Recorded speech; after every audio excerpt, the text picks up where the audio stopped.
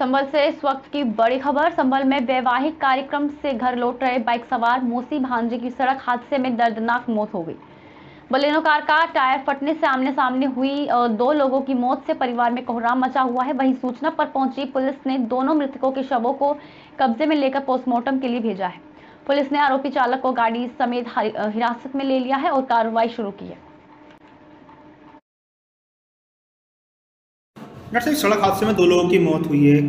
क्या मामला है? पूरा कहाँ से आए थे, आ रहे थे ये लोग और कौन कौन है ये? ऐसा दो जो व्यक्ति है, इसमें एक महिला है, एक पुरुष है। दोनों जो है, यहाँ पर हमारे पास आए थे। ये दोनों ही जो है, मृतक अवस्था में आए हैं। इनकी जो है, यहाँ आने से पहले जो है, मौत हो चुकी है। एक का नाम, महिला का नाम शांति है। उसके हस्बैंड का नाम अमर सिंह है।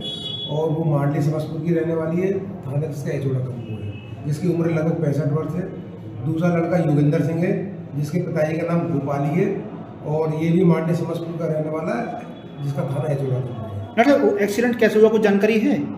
नहीं नहीं मैं जैसे वहाँ जानकारी ली तो उसमें पता लगा कि जो है ये मोटरसाइकिल में थे जिसको जो है कोई बुलेरो वाला जो है टक्कर मारना चला